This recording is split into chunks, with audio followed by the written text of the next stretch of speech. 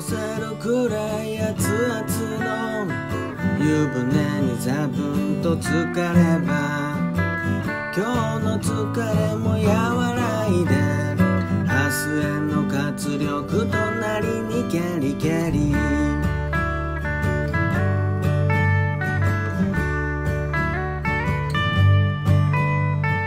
頭の中を空っぽに心身ともにポカポカに。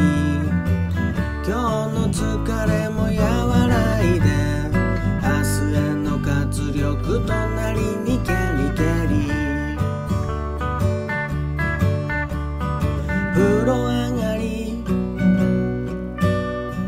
湯気昇り。髪の毛はしっかり乾かしてる時の服装でアイスクリームに手を伸ばしホテル体に冷え冷えのアイス一口頬張れば今日の疲れ